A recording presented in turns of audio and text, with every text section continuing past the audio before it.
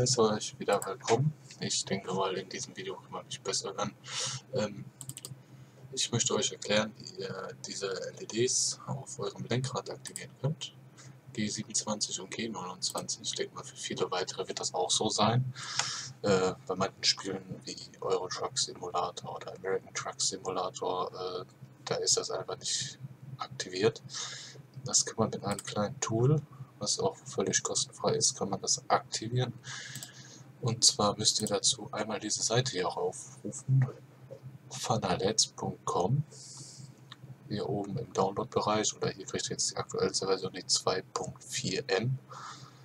Diese laden wir einmal runter, das habe ich schon getan und starten diese mal. Und dann installieren wir das Ganze einfach mal stimmt zu, bla bla. Ja, Installationspfad. README brauche ich nicht. Jetzt müssen wir mal schauen. Dann äh, findet ihr das hier unten rechts. Das ist jetzt auf meinem zweiten Monitor. Da findet ihr so ein kleines graues F. Dieses Logo findet ihr da. Da klickt ihr einmal doppelt mit der linken Maustaste drauf. Dann kommt einmal dieses ganze Fenster. Das sieht jetzt äh, ein bisschen verwirrend aus. Das ist aber total easy. Äh, wir möchten jetzt erstmal, dass die Spiele automatisch erkannt werden. Das haben die nämlich verbessert. Jetzt äh, möchten Sie die installierte Spiele im Dateipfad suchen. Da drücken wir einfach mal auf Ja. Gehen wir hier drauf. Und dann habe ich hier meine ganzen Spiele drin. Dann sucht er das mal. Jetzt fragt er mich, möchten Sie für American Truck Simulator die Einstellungen speichern? Ja, nein, bla bla. Natürlich. Und nochmal. Jetzt Euro Truck Simulator 2. Ja, ja. So, alles drin. Project Cars braucht es nicht, hat es automatisch. Einfach okay. So, fertig mit Suchen. Bla bla bla. Möchten Sie doch einen anderen Ordner durchsuchen? Habt ihr noch irgendwo einen anderen Ordner, wo ihr Spiele drin habt? Äh, nein. Der Ordner, den ich genommen habe, das war mein Steam-Ordner. Jetzt hat er hier auch schon mal den Grad erkannt. Das Logitech G29. Und ähm, jetzt haben wir das automatisch hinzugefügt. Hier seht ihr, ja, wenn ihr jetzt mehrere Controller oder Lenkräder habt, die da eine Option haben mit den LEDs. Jetzt müssen wir einmal hier in den Car-Settings rein. Das erkläre ich euch mal. Das sieht jetzt so ein bisschen krass aus.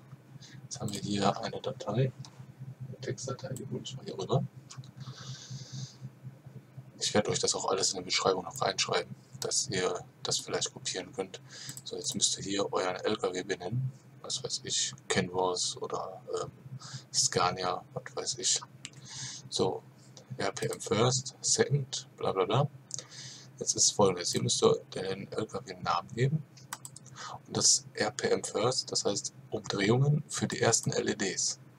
Also das geht darum, wenn ihr jetzt hier die ersten LEDs anhaben wollt, also die beiden grünen, dann wäre das First, das wäre Second, die Orangenen, und die roten in der Mitte, das wäre Third, also das letzte. Ja, dann müssen wir das einmal eingeben. Hier kommt dann der Name rein. Und dann kommt hier die 1000 rein. Das ist halt meine Werte, die ich da eingegeben habe und ich finde die eigentlich ganz okay. Genau, jetzt Third. Genau, und dann haben wir noch die Möglichkeit, wenn das blinken soll, meine ich, ist das, das ist Last. Da habe ich dann nicht 22, 30 genommen. Irgendwie falsch, aber ich denke mal, wenn zum Blinken, das ist halt der optimale Schaltpunkt. Äh, und dann müsst ihr darauf achten, wie viele Gänge euer Fahrzeug hat. Dazu zählen aber nur die Vorwärtsgänge. Es gibt ja 6, 12 oder 24, je nachdem. Und dann müsst ihr euch das jeweils anpassen. Ne? Wenn ihr jetzt äh, 12 Gänge habt, müsst ihr 12 eingeben, damit das das auch schnallt. Ne? Wenn ihr das Ganze gemacht habt, dann speichert ihr das Ganze und schließt ihr das einfach. Und dann habt ihr äh, hier zum Beispiel eure Profile. Da könnt ihr halt auch äh, mit den Car-Settings, das könnt ihr dann hier speichern. Je nachdem gibt es tausende Spiele, wie ihr hier seht. So, Flash Indicator to Upshift. Ne, das ist dann halt, dass es blinken soll zum Hochschalten. Ne? Und das ist eigentlich easy. Könnt ihr noch so andere Sachen machen, Full Flash, bla bla, Pit Limiter. Das sind alles so Spielereien. So, ich denke mal oder ich hoffe mal, dass ich euch helfen konnte. Äh, das kopiere ich hier euch alles da rein, genauso wie den Link, wo ihr das herunterladen könnt. Alles auf Englisch, der Support ist auch auf Englisch. Ne? Ähm, solange euer Lenkrad vernünftig funktioniert und die Dioden alle gängig sind, wenn ihr den Rechner hochfährt, dann alles funktioniert, dann soll es eigentlich kein Problem sein. Also nur die Einstellung ist eigentlich das, was das Schwierige ist.